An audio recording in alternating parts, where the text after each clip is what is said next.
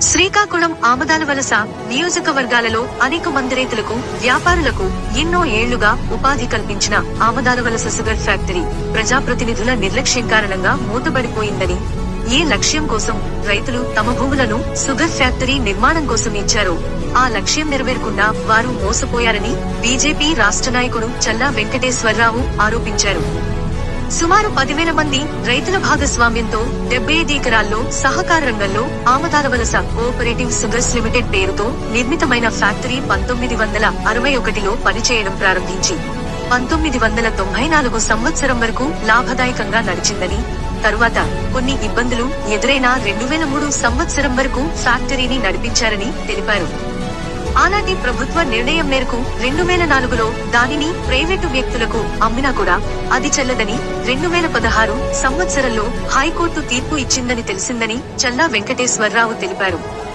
ఈ రోజు శ్రీకాకుళం ఆమదాలవలస బీజేపీ నాయకులతో కలిసి ఫ్యాక్టరీని సందర్శించారు.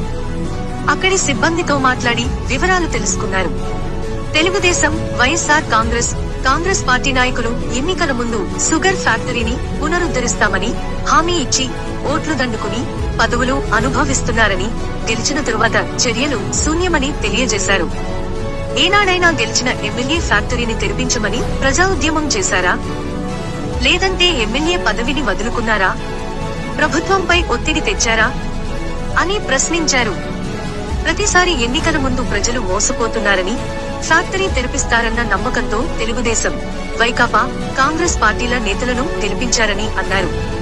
శ్రీకాకుళం ఆమదానవలస అసెంబ్లీ నియోజకవర్గాలలో బీజేపీ అభ్యర్థులను గెలిపిస్తే షుగర్ ఫ్యాక్టరీని తెరిపించడానికి కేంద్ర ప్రభుత్వంతో మాట్లాడి కృషి చేస్తామని చల్లా వెంకటేశ్వరరావు హామీ ఇచ్చారు. నేషనల్ కోఆపరేటివ్ డెవలప్మెంట్ కార్పొరేషన్ వారితో మాట్లాడి షుగర్ ఫ్యాక్టరీ తెరిపించడానికి కృషి చేస్తామని తెలిపారు. షుగర్ ఫ్యాక్టరీని పరిశీలించిన వారిలో చల్లా వెంకటేశ్వరరావుతో పాటు బీజేపీ నాయకులు సాధు కిరణ్ కుమార్ రావణ పురుషోత్తం భైరి అప్పారావు మూకళ్ళ లక్ష్మీనారాయణ షుగర్ ఫ్యాక్టరీ పరిరక్షణ సమితి సభ్యులు గేదెల కృష్ణారావు రెడ్డి దాలయ్య గ్రామస్తులు తదితరులు ఉన్నారు.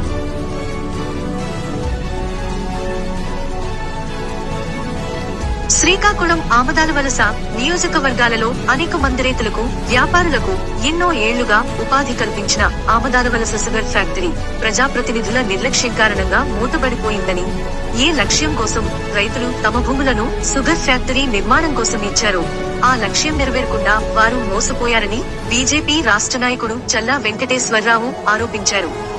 సుమారు పదివేల మంది రైతుల భాగస్వామ్యంతో డెబ్బై ఐదు ఎకరాల్లో సహకార రంగంలో ఆమదాల వలస కోఆపరేటివ్ సుగర్స్ లిమిటెడ్ పేరుతో నిర్మితమైన ఫ్యాక్టరీ పంతొమ్మిది వందల అరవై ఒకటి.